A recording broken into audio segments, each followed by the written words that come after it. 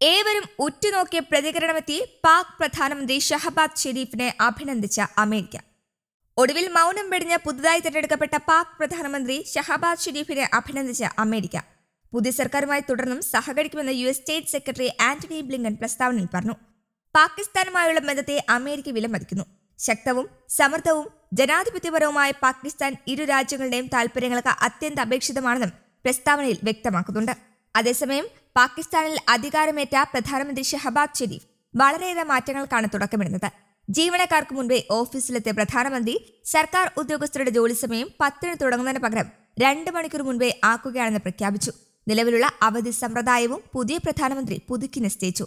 ആഴ്ചയിൽ രണ്ട് ദിവസത്തെ അവധി ഇനി മുതൽ ഞായർ മാത്രമാക്കി ചുരുക്കി. പെൻഷൻ വർധന കുറഞ്ഞ ശമ്പളം ഇരുപത്തയ്യായിരം രൂപ തുടങ്ങിയ പരിഷ്കാരങ്ങളും നടപ്പാക്കി. സാമ്പത്തിക പ്രതിസന്ധിയിൽ നിന്ന് കരകയറാനുള്ള നയരൂപീകരണത്തിന് വിദഗ്ധരുടെ യോഗം വിളിച്ചിട്ടുണ്ട്.